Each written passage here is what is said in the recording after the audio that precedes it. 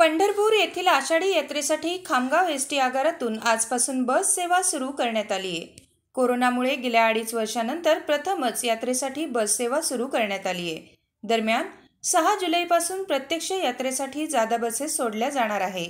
पंढरपूर येथील यात्रांमध्ये आगाराला मोठे उत्पन्न मिळते पण कोरोनामुळे सर्व काही थांबले होते. आता हळूहळू परिस्थिती पूर्वपदावर येत आहे. यंदा पंढरपूर यात्रेसाठी शासनाचे कोणतेही निर्बंध नसल्याने भाविकांसाठी बस सोडल्या जात आहेत. यामध्ये आज सकाळी रोज साडेनऊ वाजता एक बस पंढरपूरला भाविकांसह रवाना करण्यात आली.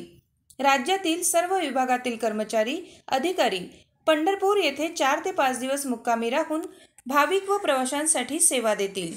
राज्यातील सर्व विभागातील एस टी महामंडळाच्या आगारांना पंढरपूर यात्रेमुळे मोठे उत्पन्न मिळते. त्यामुळे आषाढी यात्रेचे खूप महत्त्व आहे.